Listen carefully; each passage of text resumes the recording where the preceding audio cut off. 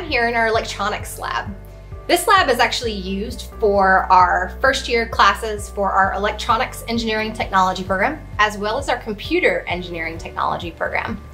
Around me, you'll see a whole lot of equipment. That's because our programs are very hands-on, they're very lab-based.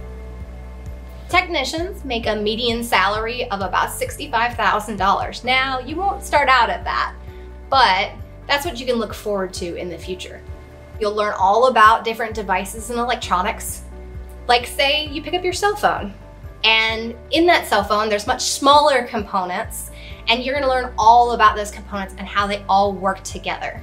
Our computer engineering technology program also adds some additional computer repair and programming classes to your electronics classes.